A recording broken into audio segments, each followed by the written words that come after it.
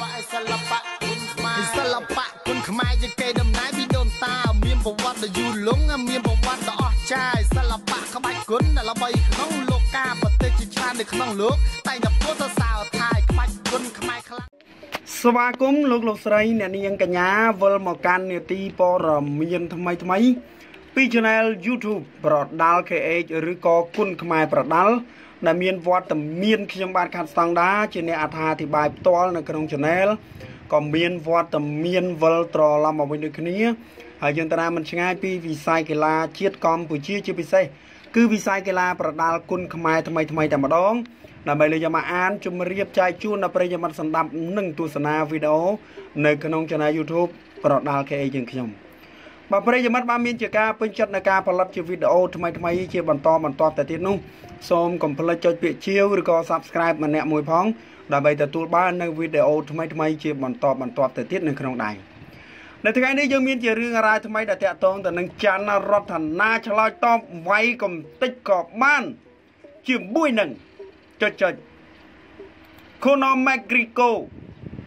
បាទបែក កំណត់ត្រាហើយអាចនឹងត្រូវចូលនិវត្តន៍ត្រឹមនេះ បាទចូលនិវត្តន៍យ៉ាងដូចម្ដេចប្រិមត្តបាទកីឡាករច័ន្ទរតនាឆ្លើយតបទៅកាន់ការកោះហៅពីជើងខ្លាំងឥណ្ឌូនេស៊ីអ៊ីកូរ៉ូនីបាទប្រិមត្តណាសាពូត្រាបាទសាពូត្រា ក្រោយទទួលបានដំណឹងការកោះហៅពីសំណាក់ជើងខ្លាំងរបស់ប្រទេសឥណ្ឌូនេស៊ីអ៊ីកូរ៉ូនីសាពូត្រាជើងខ្លាំងកម្ពុជាច័ន្ទរតនាបានឆ្លើយតបទៅវិញថាខ្ញុំរីករាយទទួលស្វាគមន៍គាត់គ្រប់ពេលវេលាកីឡាករដែលជាជើងខ្លាំងលំដាប់កំពូលរបស់កម្ពុជាច័ន្ទរតនាបាននិយាយថាអ៊ីកូរ៉ូនីចង់សងសឹកឲ្យមិត្តរួមជាតិរបស់គាត់ ហើយគាត់មានសមត្ថភាពមិនចាញ់រ៉ូឌីអាគូស្ទៀននិងអាល់ហ្វ្រ៉ូហ្វឺណាន់ដេសអត់នោះឡើយតែសម្រាប់ការប្រកួតនេះខ្ញុំត្រូវតែរក្សាកំណត់ត្រាជ័យជំនះរបស់ខ្ញុំតទល់ទៅនឹងកីឡាករឥណ្ឌូនេស៊ីឲ្យខានតែបានវ៉ាវច័ន្ទរតនាបានបន្ថែមទៀតថាអ៊ីកូរ៉ូនីគាត់ល្អជំនាញក្រោមនៅពេលខ្ញុំមើលវីដេអូគាត់ខ្ញុំឃើញថាជំនាញក្រោមរបស់គាត់ល្អជាងខ្ញុំ ដូច្នេះខ្ញុំត្រូវតែប្រុងប្រយ័ត្នជំនាញក្រោមរបស់គាត់ឲ្យមែនតែនប៉ុន្តែផ្អែកតាមបទពិសោធន៍ខ្ញុំតែងតែឈ្នះដៃគូដែលល្អជំនាញក្រោមដូច្នេះលើកនេះខ្ញុំមានទំនុកចិត្តថាអាចតស៊ូជាមួយនឹងកីឡាករលំដាប់កំពូលរបស់ឥណ្ឌូនេស៊ីអ៊ីកូរ៉ូនីហ្សាពូត្រាបានជាក់ជាមិនខានអញ្ចឹងប្រិយមិត្តទាំងអស់គ្នា សង្គ្រាមពាក្យសម្ដីផ្លែផ្កាឌឺដង ណាឌឺដងរវាងកីឡាករ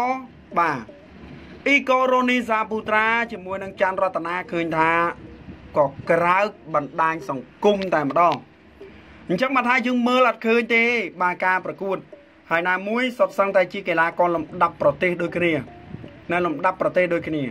ប្រហែសគឺដឹងថាស្លាប់ហើយប្រិមត្តអត់មានថាប្រហែសហើយអាចរួចខ្លួននេះទេអានឹងខ្ញុំនិយាយការពិតហ្មងបាទខ្ញុំនិយាយការពិត អញ្ចឹងឥឡូវនេះចាន់រតនាឆ្លើយតបអត់អីទេបងណាជួបគ្នាបានណាជួបគ្នាបានតែខ្ញុំ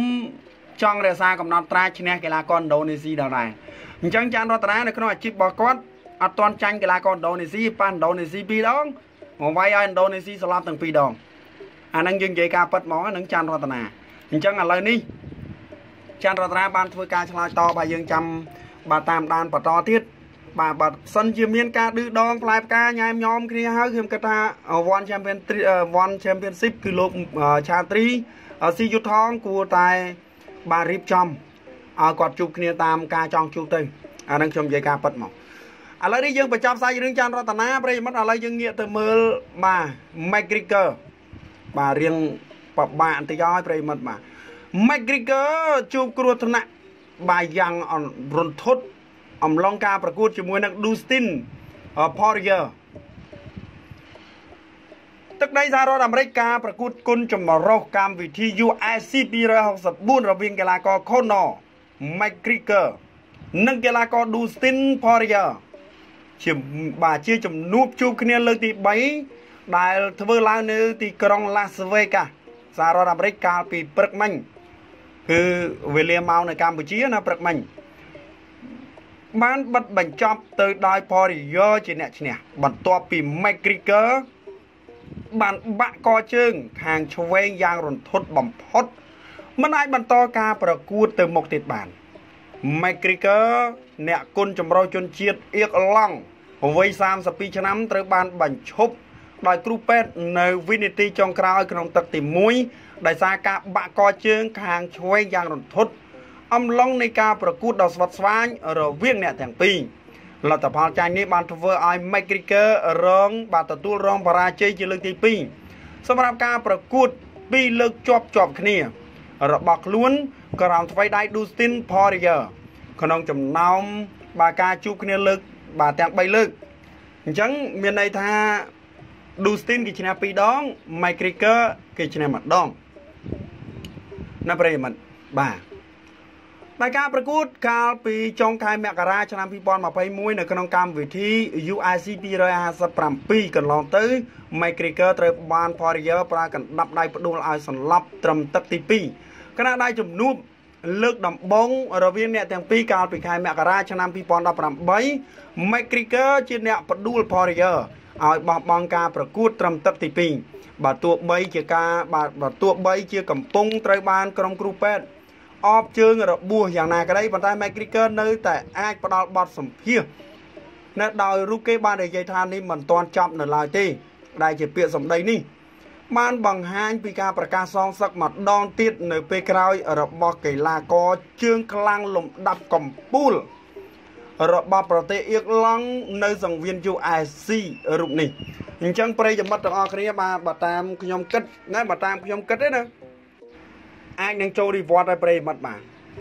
ក៏ជើងខ្ញុំក៏ជើងគាត់ខ្ញុំឃើញខ្ញុំមានអារម្មណ៍ថាស្លុតចិត្តហ្មងណាស្លុតចិត្តយើងមើលទៅវារន្ធត់ណាអ្វីដែលយើងឃើញហើយយើងប៉ាន់ស្មានថាបើសិនជារឿងរ៉ាវទាំងអស់នេះធ្លាក់មកលើយើងវិញមិនដឹងជាយ៉ាងណាប្រិយមិត្តបាទអញ្ចឹងឥឡូវនេះ Dustin វាយការប្រកួតព្រឹកមិញបានតែ1លានទេបាទ Conor បានរហូតដល់ទៅបាទ 20លានដុល្លារនោះនៅតម្លៃខ្លួនគេអញ្ចឹង One Championship អត់ទាន់មានកីឡាករណាតម្លៃបានលើលានដុល្លារទេមកដល់ពេលហ្នឹង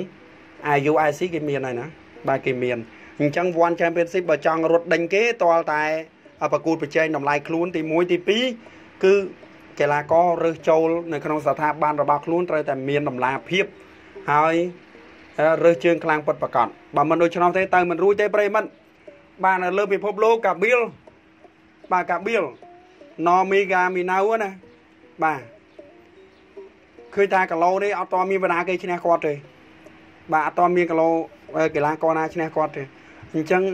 អាចនឹងពិបាកប្រិមត្តណាបើសិនជា One Championship ចង់បើកព្រឹត្តិការណ៍វាយជាមួយ UFC មែនខ្ញុំគិតថាពិបាកក្នុងការប្រកួតអញ្ចឹងប្រិមិត្តចូលរួមសោកស្ដាយដល់កីឡាករ McGregor ដែលបានជួបឧបទ្ទវហេតុនៅក្នុងការប្រកួតគាត់ណាអត់មានវាយអីផងបាទគាត់ថយមក បាទបាក់កជើងតែម្ដងជាចុងក្រោយបដាល់ KH សូមជម្រាបលាសិល្បៈសិល្បៈគុណខ្មែរសិល្បៈគុណខ្មែរជាកេរដំណែលពីដូនតាមានប្រវត្តិដ៏យូរលង់មានប្រវត្តិដ៏អស្ចារ្យសិល្បៈក្បាច់គុណដែលល្បីក្នុងលោកកាប្រទេសជាច្រើននៅក្នុងលោកតែតែពុទ្ធសាសនាថៃក្បាច់គុណខ្មែរខ្លាំង